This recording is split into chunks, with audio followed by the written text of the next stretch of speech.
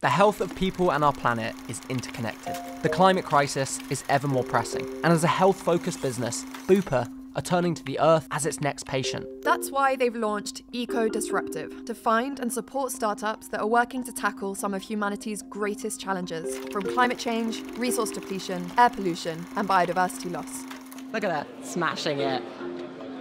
Oh, cut to the close up. We sat down with some of the event's speakers to discuss just how much the Earth's health impacts our own. Zoe, thanks so much for sitting down with us this morning. It feels like we talk a lot about the transport industry and the agriculture industry, but you don't often hear about the medical and the health industry when it comes to sustainability.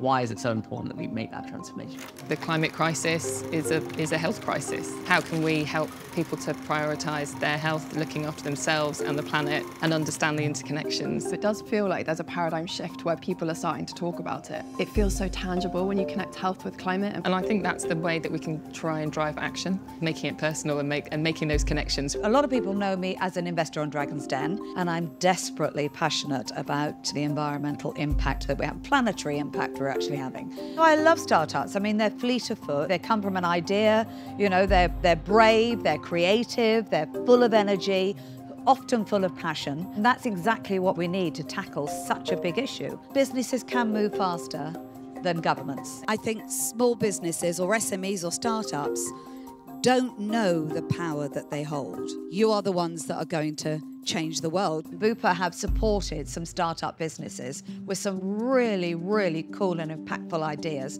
and help get them to the stage where they can get out into the world and actually raise investment. We caught up with some of this year's founders to learn more about their inspiring stories and the change they're making. So, tell me about Undo. Silicate rocks weather, and through that weathering process, they sequester carbon dioxide from the atmosphere. We're speeding this process up by partnering with quarry and mining. We take their wasted byproduct and we spread it over local agricultural land. It's one of the most abundant rocks on Earth, and so we can tap into what we've got available to us to improve the soil fertility, soil structure, water retention. Yeah, take it home. Let us know what you think. Let us know the results.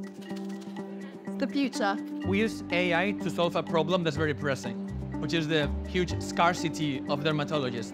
We train an AI that is able to do one of the two main things that dermatologists do. So diagnosis and measurement of the severity of a condition. So doctors are using this platform to help identify, yeah? Okay. Exactly. You can provide quality care just with patients uploading pictures from their homes and doctors reviewing it asynchronously from their consultations. Reduces the amount of um, transportation needed, the amount of paperwork needed. Well, it's amazing to see AI being used in the context of the medical industry. It's obviously a new technology lots of people are talking about at the moment. At Clearbot, we basically make electric self-driving boats. Our boats create zero pollution. They can be charged with a solar panel, and most importantly, they can be used to collect trash out of the water effortlessly. You can sit in your office and you can drive a fleet of boats that are just going to go around and clean all the water for you. We also collect data that never existed before.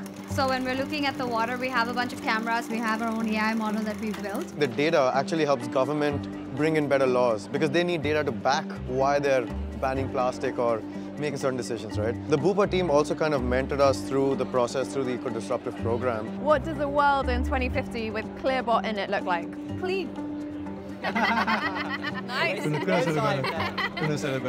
What amazes me walking around this venue is the diversity of businesses that are here, the diversity of startups that makes you realize sustainability can look like so many different things. There are so many different solutions. It's hard not to feel a little bit more hopeful and optimistic when you walk around an event like this.